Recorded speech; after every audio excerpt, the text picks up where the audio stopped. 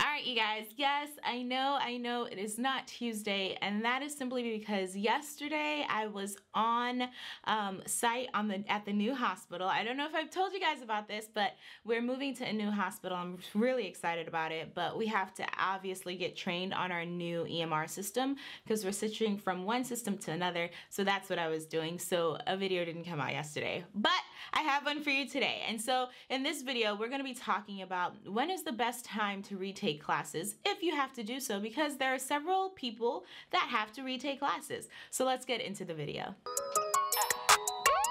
What's up you guys, it's Adanna, welcome back to my channel. Okay you guys, so yes, I usually do videos on Sunday and Tuesday, so be sure to come back every Sunday and Tuesday for my videos. Sometimes on Wednesday, uh, the occasional Wednesday, I will do a video if I did not do one on Tuesday or if I just have like something that I want to show you guys. So today's video, uh, I had a question posed by one of my subscribers, and if you are a subscriber, if you have looked at any of these videos, thank you so much for subscribing. If you're new to my channel, take a look around. If you like what you see, go ahead and subscribe because it really helps my YouTube algorithm out a lot, okay, you guys? Uh, but I had this question asked by Emma Murtha. And she said, can you do a video when you to retake classes? For example, if you have several in chemistry and calculus, is it worth it to retake a couple of those classes or just move on and do the best you can in your upper division science classes? Okay, so Emma, this is a great, uh, great, great question because again, like there are several of us who, you know, when you were in your undergrad, like, and in your like early undergrad years, so freshman, sophomore year, where you're taking like biology and general chemistry, you weren't really paying that close attention to what was going on because it was fresh, you're in school, you're away from home for the first time, you're like out having good time with your friends, and so your grades can kind of suffer. Uh, and there are lots of people that kind of fall into that pitfall, and then sometimes it's not even a matter of you're out partying or whatever the case may be, it may be it was just a stressful time in your life. It is very important to understand when to retake classes, but all of that, Emma, determine is kind of determined determined on you or determined by you, okay? So it all matters whether or not you want to go directly into PA school from undergrad or not. That will give you a more I guess, the general idea on when you can retake classes. So your classes for PA school, your prerequisites, they like to have them within the last five, seven, or 10 years. It all depends on the program that you're applying to. But generally speaking, I would say like seven years is kind of like your average, okay? It's right in between the five and the 10. Um, there are some schools that have some requirements, like certain classes would have had to have been completed within the last uh, 13 months or the last two years, but those are kind of outliers. The majority of programs like 5, 7, and 10. So remember those numbers 5, 7, 10, okay? So once you understand that, um, that kind of gives you a gauge on, hey, okay, if I did really, really bad in my junior, my sophomore and freshman year, how much time do I have to retake these classes um, or from before like my older classes that I'm not retaking kind of become obsolete.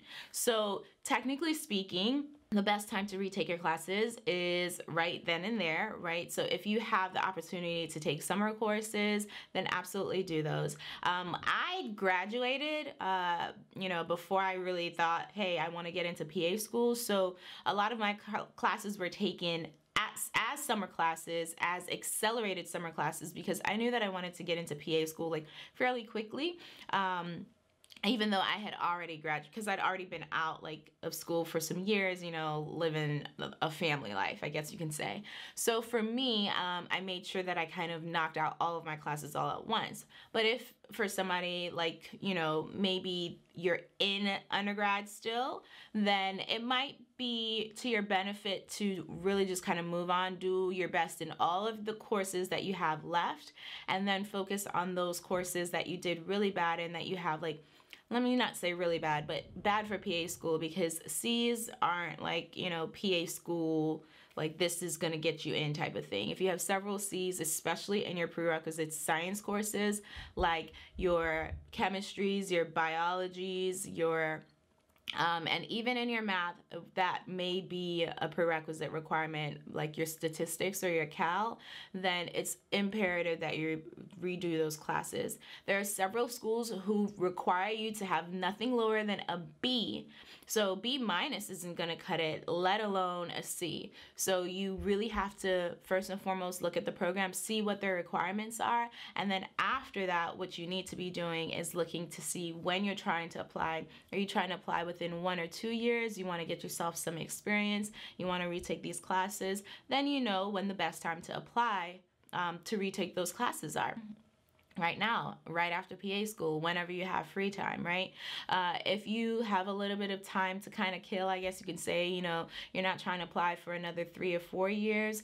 Um, you're kind of cutting it close with respect to uh, your five year ma- mark, but your seven year mark is fine and your 10 year mark is way down the line. So if that's the case, then you really have the opportunity to take your time, make sure you're doing really well in those classes that you need to retake, make sure you're getting those. Uh, direct patient care experience hours to make yourself the best candidate. Another thing that you should absolutely keep in mind is with respect to how many classes you need to retake, right? So if it's just one or two classes that you have seasoned, but the rest are fairly good you know grades. You have b pluses a's that kind of thing. Then yeah you know take it immediately. On, on your summer vacation your next two summer vacations or um, you know your summer and winter breaks, take those classes online. There are several programs that are offering online classes or hybrid classes that are completed within six to seven weeks do it. Because then that way you don't waste any time at all. You know you're not waiting sitting up here waiting for all of your classes to be done for you to be graduated from undergrad and then take these classes once you've graduated. You can knock them out right then and there. But if you have more classes, then you have time um, in your undergraduate, I guess, career, then you should absolutely go ahead and plan that out. So hopefully this answered your question. Please, guys, continue to leave me questions in the comment section below. Please go ahead and subscribe and like this video because like I said, it helps my YouTube algorithm out a lot, which means my videos will get out to more people and more people will know about this beautiful profession, the PA profession, um, go ahead and follow me on Instagram at Adanna PA and on Instagram at Get That C University. Thank you guys so much for watching. I will talk to you guys next time.